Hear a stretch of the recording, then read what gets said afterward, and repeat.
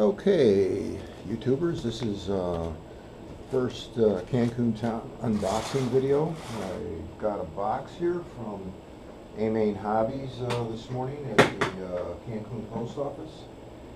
And uh, some odds and ends that I needed for my uh, new Kyosho MP77 SP2 uh, Nitro car and and then I ordered I think some some extra Spektrum receivers. uh, kind of want to retire all my 20-year-old Java receivers uh, that I've been using here and there. So, all right, let's move on with it and see what we got here. Bag number one. Okay, let's see.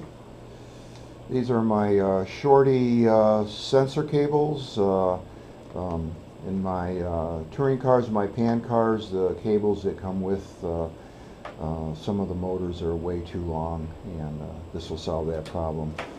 Um, some little red beveled washers for my CRC car, match the coloring that they use on their fasteners. And here are some uh, 3 millimeter Punisher ball caps uh, from Lunsford. Should be nice and strong. Uh, these are my uh, wheel nuts for my uh, uh, Kyosho Nitro car. They're really slick. And then here is my four shoe racing clutch for my Kyosho. Pretty slick. And Here's uh, a couple of uh, OFNA uh, turnbuckles and a couple more uh, Kyosho turnbuckles. Let's see what else I got here. Turn some light on here.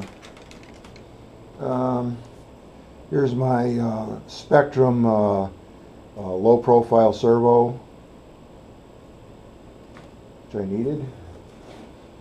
And here's a Spektrum um, two-channel sport receiver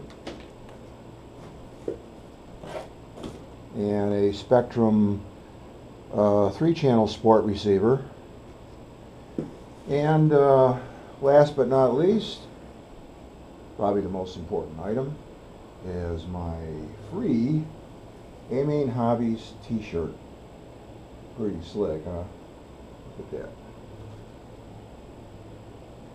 All right, that's it for now. Until next time, hope you enjoyed this unboxing video. Thanks for watching. Bye.